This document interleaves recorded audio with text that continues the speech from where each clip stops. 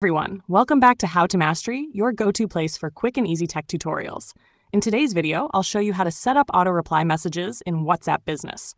Perfect for staying professional and responsive and responsive, even when you're not available. Let's step one, open WhatsApp Business app.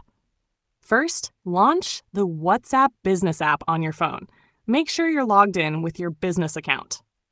Step two, go to Settings tap the three dots in the top right corner and select Business Tools from the menu. Step 3. Tap on Away Message. Scroll down and tap on Away Message. This feature lets you automatically reply to customers when you're offline. Step 4. Turn on Auto Reply. Toggle the Send Away Message guy. Switch to turn it on. Now, tap on the message box to customize your response. You can say something like, Hi, thanks for contacting us. We're currently away, but we'll get back to you shortly. You can personalize this based on your business hours or the type of service you offer. Step 5. Choose your schedule. Tap Schedule to decide when your auto reply should be sent. Always send Custom Schedule outside of business hours. Select the option that fits your workflow. Step 6. Select who gets the message.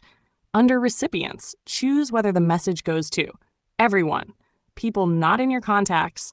Everyone except selected contacts. Only certain people. This gives you full control over who receives your automated replies. Step 7. Save and done. Once everything is set, just tap Save at the top. Your WhatsApp Business Auto Reply is now active.